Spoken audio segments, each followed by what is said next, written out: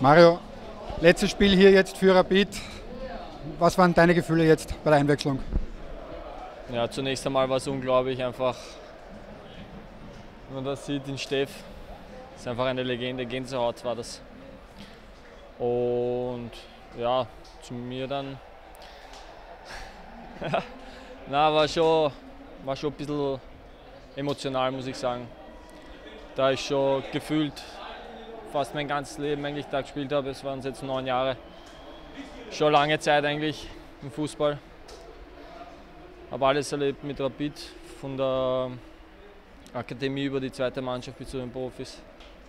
War unglaubliche Zeit, da werde ich auf jeden Fall vermissen. Du wechselst nach Kroatien. Was sind deine Ziele dort unten? Ja, meine Ziele auf jeden Fall, dass ich mich dort in die Mannschaft einspiele, Stammspieler werde, um die Meisterschaft dort mitspielen kann, um den Cup, international hoffentlich auch. Das wäre so das Beste. Ja. Du sagst, das halbe Leben hast du hier verbracht. Siehst du dich irgendwann wieder in Hütteldorf?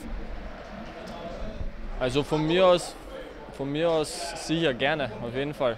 Wenn es sich ergibt, dann sicher.